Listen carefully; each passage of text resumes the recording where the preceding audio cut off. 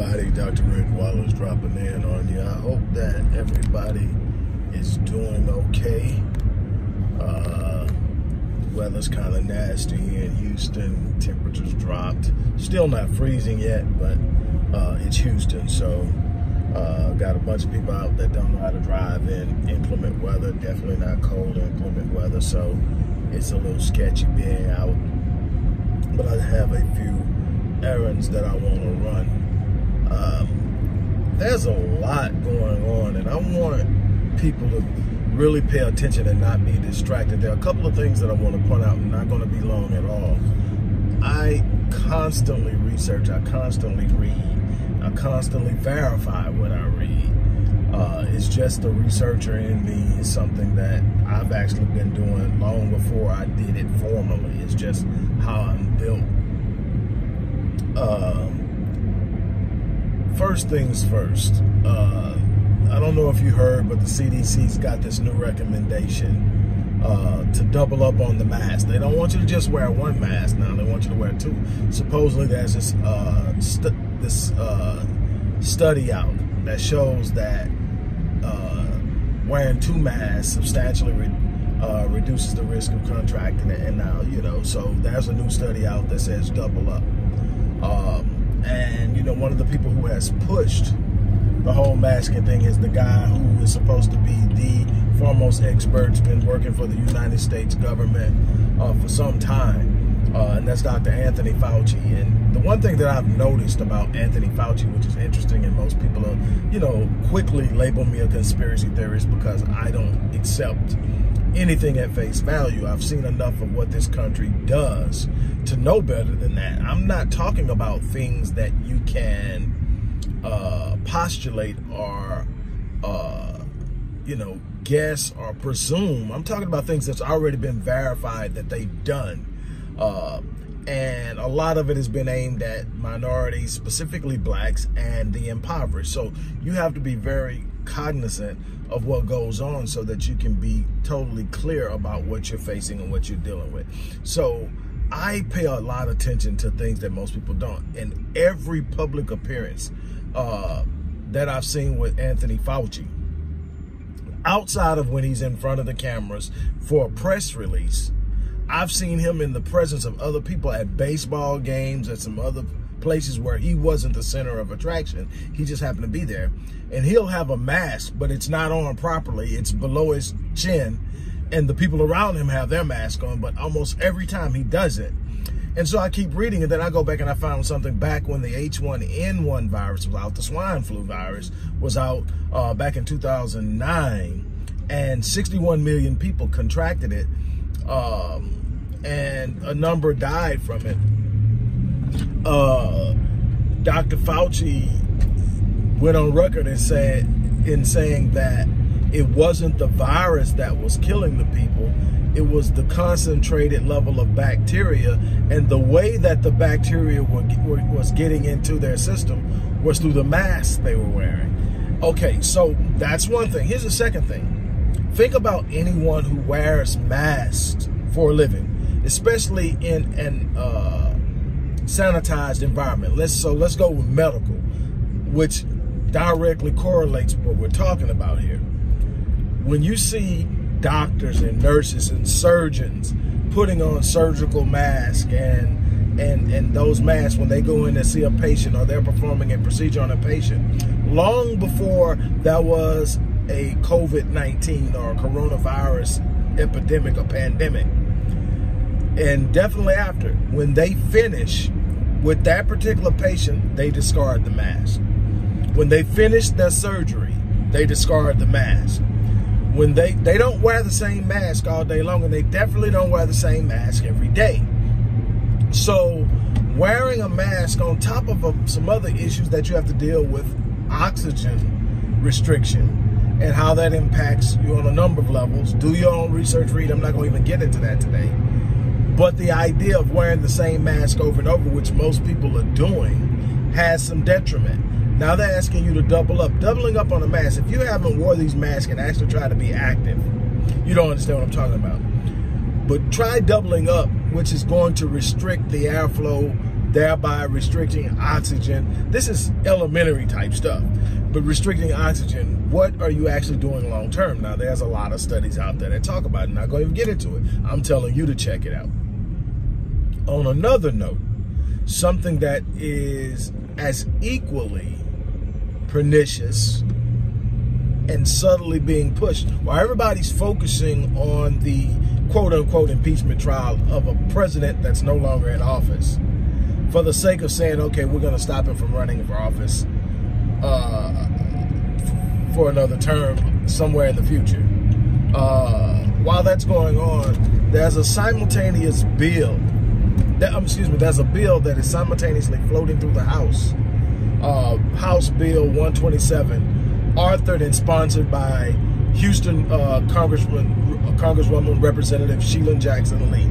Anybody knows me knows how I feel about Sheila Jackson Lee. Okay, I'm not about uh, black faces in high places. I'm not about symbolic or uh, anything. I'm not big on symbolism. I'm big on what are you doing. I followed her long enough to know and see. I see the mouth service. I see very little done. I see the suffering continue. I see a uh, career politician with very little to show for it outside of symbolism. Well, Sheila Jackson Lee has authored a bill, House Bill 127, 127 that could easily turn a lot of blacks and other poor people within this country into felons in a very, very short period of time. The bill is about limitations and monitoring and registering firearms. You need to research it, you need to read it, because they're talking about a national registry. Uh, they're talking about uh, making guns that are already in the possession of people illegal. Uh, anything with a clip capacity over, I think, eight or under 10. Uh, anything uh, over 10 is automatically going to be illegal. So if you possess it, you got to turn it in. Uh, and there are a number of other things that, and but the problem is, number one is the cost of registering for the national database. Now the thing is, any gun that was bought legally is already registered under the owner who bought it. Okay, so we have to understand that. When you buy a gun legally, you have to get a background check. When you have the background check, when you and the, you purchase the weapon, uh, uh, tobacco firearms and uh, whatever.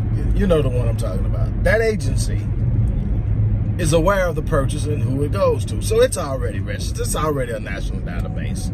But average person wouldn't know that. But here's the thing. You got to pay for the registration. You got to pay for uh, this ongoing type process. There are a number of different things in this bill that you have to pay for in order to stay remain qualified as a gun owner.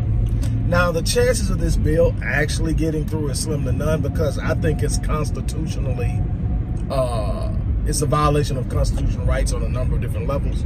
But the idea that they're doing it, and here's another Democrat who is putting blacks in the crosshairs because the people who are going to suffer the most are the, those who can afford to do it and those who will probably just simply not not follow through.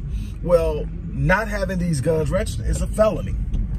So you either got to turn your guns in, either get them properly registered, or become a felon without ever even being notified. The next thing you know, you're being picked up, or there's a warrant. I don't know how that part is going to be carried out, but the idea is it's being pushed real quietly through. Now, the fact that I believe personally that it's unconstitutional, I believe that even if it were to pass, I don't believe that it will get past the the the, the, uh, the constitutional challenge that will be made by lobbyists like the NRA and some black uh, firearms groups, along with a number of Republicans. So I don't think that it will actually get that far of actually becoming a law, but you still need to be aware of what's going on and who's doing it and the th all the things that are going on in the black community, this is what you choose to do. Now, yes, I'm pro gun. I'm not pro anybody getting killed, but what I can tell you is there's tons of research. I've done it. I wanted to know, okay, really, how much do, do gun restricted uh, laws that restrict gun uh, ownership, how effective are they in stopping violent crime? What I can tell you is that not very much. Here, here, here's a simple synopsis of why. Gun laws, keyword law, is focused on governing law-abiding system, uh, citizens. The truth of the nature is anyone who is willing to break the law is not going to be impacted by it because if I want to get a gun, you got to understand gun trafficking is the number one business globally. Before, second is human trafficking.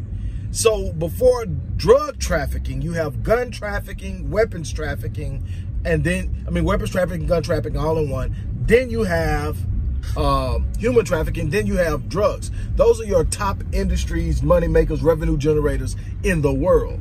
Do you think if I want a gun, I can't get one illegally if I'm planning on doing something illegal? Do you think that's going to be a problem for me? Absolutely, absolutely not. I'm going to get a gun. Anybody that's wanting to do something illegal, who has made up their mind to do something illegal, isn't going to be hindered by legality. And there's always going to be way you talk about the war on drugs for the last 40 years, and yet there's no shortage of drugs. You cannot stop a force that actually is being funded by its illegality. The fact that certain guns are illegal and you can't get your hands on them makes them profitable.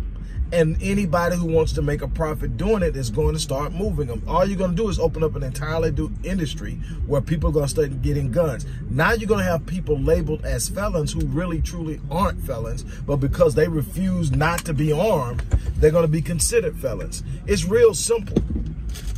If you want uh, violent crime to uh, decline, start dealing with poverty. On that note, I've got to get out of here, you guys. Uh, we're going to talk about this some more. Uh, but I got to get out of here now. You take care.